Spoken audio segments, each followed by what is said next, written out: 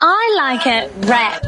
I like it tasty. Get it grilled at KFC, like these fresh grilled chicken wraps, which you can have fiery hot or not. That's my kind of chicken. And mine.